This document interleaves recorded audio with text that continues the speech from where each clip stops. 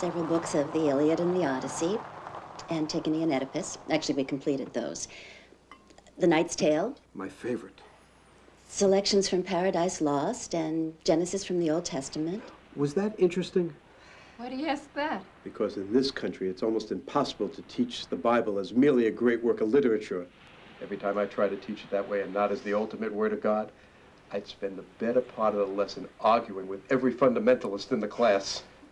The biggest problem I had this year was with two young ladies who belonged to some group called God's Assembly or something to that effect. That must have been a hoot.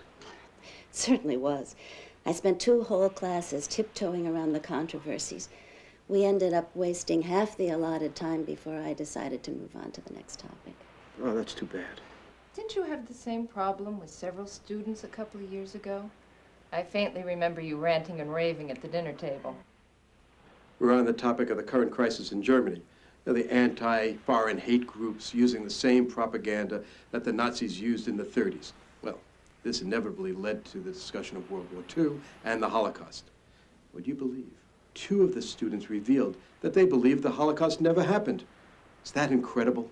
I can't understand it. It's just ridiculous. Where do they get these ideas? From their parents. Who else? My parents died in the war.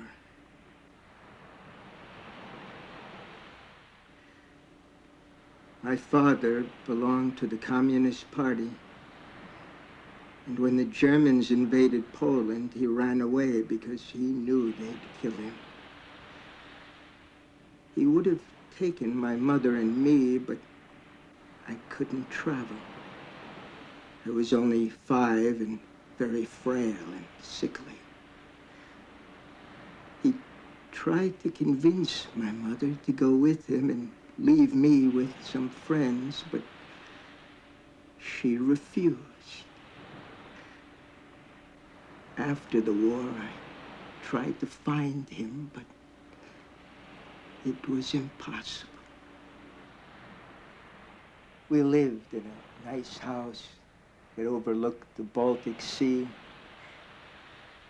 My mother, she used to sit by the bedroom window and read to me. She had such high hopes for me. When the Germans invaded, she knew we were in grave danger because of my father's politics. She explained to me that the safest thing to do was to hide in a small closet in the basement. We had a friend, a wonderful woman named Eva, who agreed to look after the house while we were in hiding. We filled the closet with as much food and water as we could. And then Eva blocked the closet door with some old furniture. Three days later, the Germans occupied the town.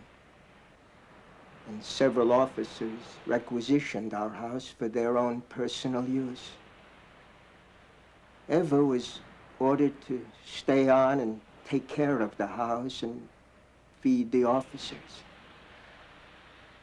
Somehow, she managed to sneak food and water to us every few days.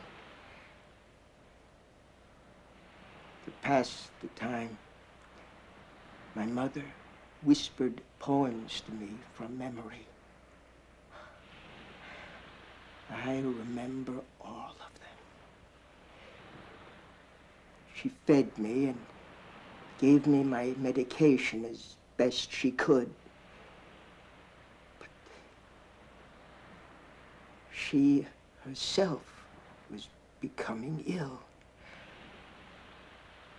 Apparently, she was always afraid that the Germans might keep Eva from coming back for a while. And so she saved almost all of the food and water for me.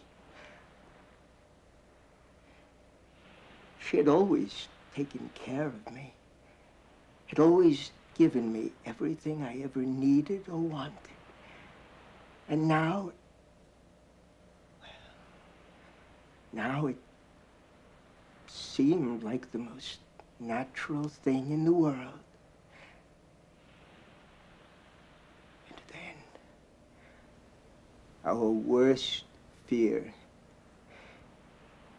Eight days went by and Eva didn't appear.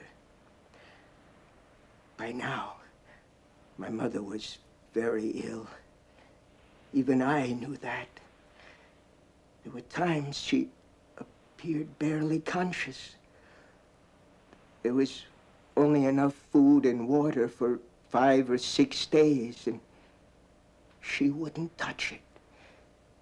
She said she merely had a fever, and that the only way to get rid of it was to avoid any nourishment. And I believed her. During the next few days, she passed in and out of consciousness.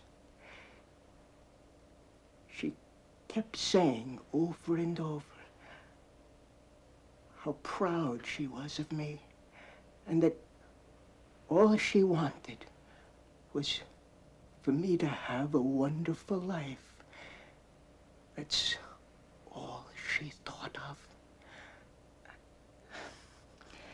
I pleaded with her, begged her, please, don't die. But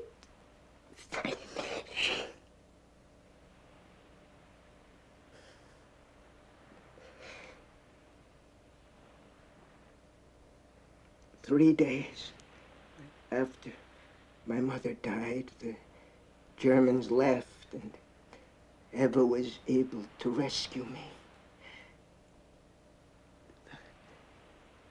The, last thing my mother said to me was,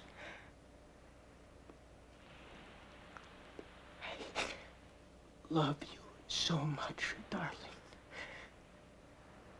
Please, don't cry. Don't make a sound, or they'll hear you.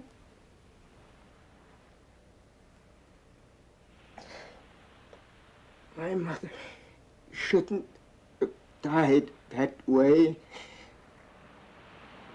Christina shouldn't have. They should